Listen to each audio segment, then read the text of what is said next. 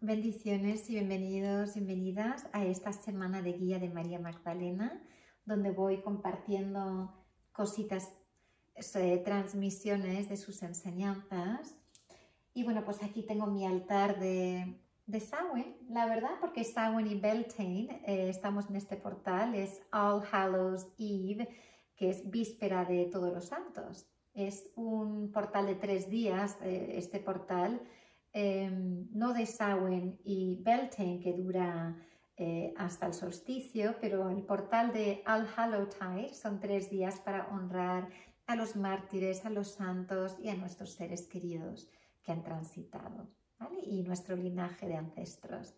Así que quería compartir este altar con vosotros y vosotras, y estoy vestida de negro, no hay luz, salvo el de mi ordenador, para que, para que os dé la sensación de intimidad y oscuridad para ir hacia adentro. Em, tengo mi calabaza, mi aceite de Samhain, obsidiana, mi muñequita de diosa oscura em, y bueno, también mi hada, así que estoy muy contenta con, con el altar. Pues hoy me gustaría hablar de, vamos a compartir una transmisión de María Magdalena que forma parte de una de las canalizaciones de mi último libro, María Magdalena y el camino de Allah Hashelah, este libro estará disponible en castellano el 28 de noviembre de 2021. El libro ya está hecho, ya está traducido, ya está eh, entregado, pero cuando se pone una fecha de, salida, de, publicación, no se puede alterar la fecha. Así que bueno, el 28 de noviembre está el libro en castellano, así que estoy muy contenta. Voy a leer este trocito de la canalización Mientras que estés encarnado, encarnada en forma humana, todo lo que deseas lo podrás recibir siempre que estés en conexión con el Agún, con la Madre Padre, que es la fuerza vital energética de la unidad, a través del rezo, de la contemplación, de la meditación, de la ceremonia, de tu propia conexión con el Agún, vuelves a la esencia auténtica de tu propósito de alma, que es ser tú. Desde este espacio realmente se te entregarán todos los deseos del alma. Esta es la ley de la luz. Cuando deseas desde el corazón, te conviertes en receptivo y permites que el fluir de lo que necesitas que sea entregado para que puedas vivir en tu reino. Permites que toda la sabiduría y la fuerza de la luz sea recibida en ti desde el Malkuta para poder parir tu propio Malkuta, tu propio reino. Estaba traduciendo directamente el inglés al español, por eso tenía que parar un poquito. Así que María Magdalena está hablando de la ley de la luz y es justo lo que siento que estamos transitando en este portal de Beltane y Samhain. Beltane y Samhain como portal hemisferio norte y sur se unifican con la energía de Escorpio y Escorpio es el poder, el poder del alma, eh, el auténtico poder, no el poder que pensamos que conseguimos a través de cosas externas, eh, ni el poder sobre las personas, que eso sería una forma en sombra del poder. Y la ley de la luz es la capacidad de ir hacia adentro, a, esa parte oscura. Cuando digo oscuro no digo malo, digo el útero, eh, el útero cósmico, el silencio, de ir hacia adentro para empezar a cultivar tu luz. Y cultivar la luz es realmente despertar la luz, porque esa luz está, solamente que no encendemos la vela, ¿no? Podemos tener una vela de decoración en nuestra casa, pero hasta que no encendemos la vela no hay luz, esa vela no da luz, pero la capacidad de esa luz existe. Pues es lo mismo que pasa dentro de nosotros y nosotras. Y la ley de la luz encarna eh, y expresa un potencial impresionante de unificación de masculino y femenino. Y aquí no estoy hablando de hombre y mujer, estoy hablando de la vida misma. No sabemos que una madre gesta a su hijo durante nueve meses y de repente, ¡pum!, ah, sale al mundo. Lo ha manifestado, pero esa gestación ha estado durante nueve meses hacia adentro. Esa, esa cultivación de la luz, de la vida interna, de ir hacia adentro, es esa parte nuestra femenina. Em, llevamos siglos, ¿verdad? eh, manifestando en el externo, manifestando, o sea, somos todos y todas grandes manifestadores. Llevamos tanto tiempo manifestando y llevando nuestra energía hacia el externo.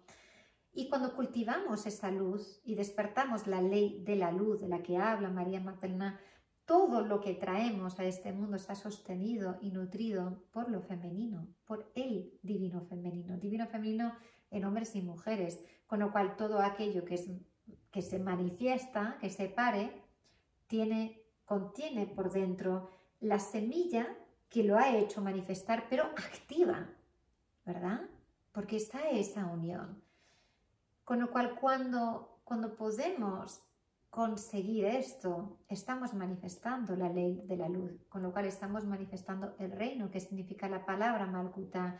Y Malkuta, aunque es una palabra femenina, eh, realmente es reino en femenino, eh, pero bueno, se ha traducido como masculino, es la capacidad de manifestar todo lo que queramos, tanto los deseos del alma, el propósito del alma, eh, la vida de nuestros sueños, el amor que queremos siempre que sea sostenido por esa ley de la luz.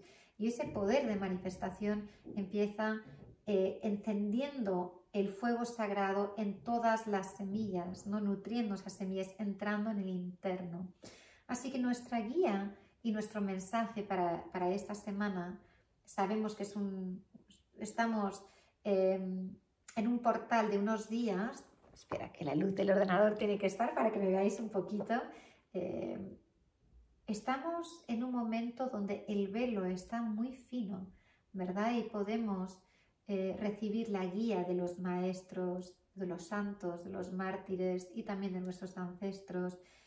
En esos espacios donde no hemos amado, pedimos a los grandes maestros y santos que nos enseñen a amar en esos espacios y momentos en los que hemos hecho daño a nosotras y a otros, pedimos guía eh, y enseñanzas a los grandes maestros, santos, mártires y ancestros.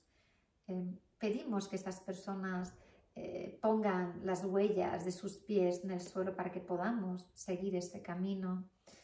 Esto es un rezo también y el cultivar la luz que María Magna habla de la ceremonia, el rezo, la contemplación. Realmente tú eliges cómo tú quieres cultivar esa luz. Puede ser la meditación en silencio, puede ser la danza, puede ser la reflexión, puede ser tomar un momento para, para leer em, las escrituras sagradas.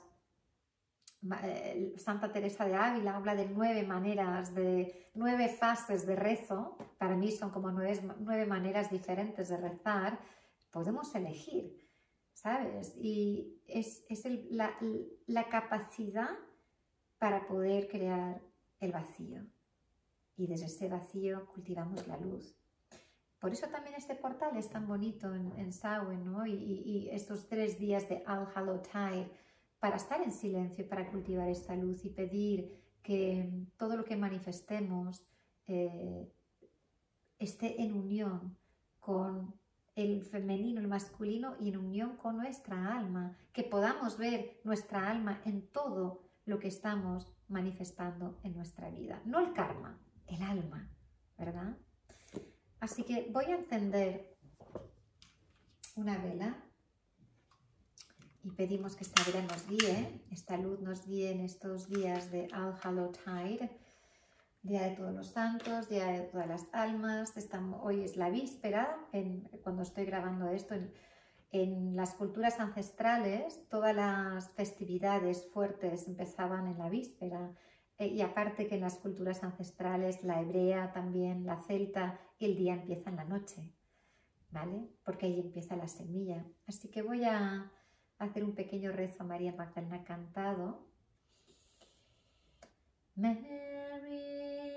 Magdalena, María Magdalena, danos tu amor, danos tu corazón, danos tu llama, nos unimos a ti, eres el amor del Cristo novia sacra, cala Mesías, enséñanos,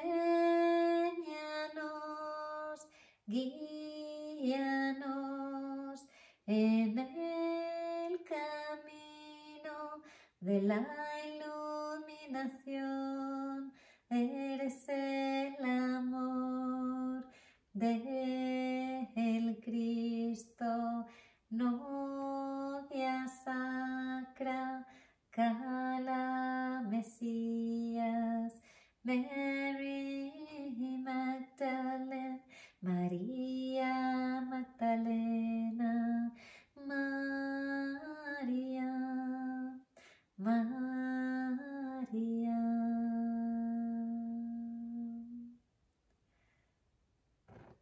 Y que el humo de esta llama llegue a todos vosotros y vosotras con las intenciones de este canto.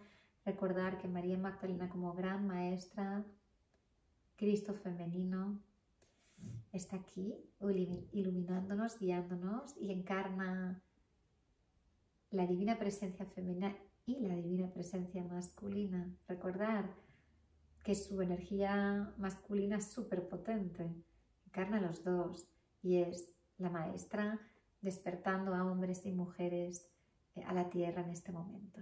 Así que muchísimas gracias. Eh, feliz Día de Todos los Santos. Si estáis viendo esto en este momento, eh, y a Java. Gracias.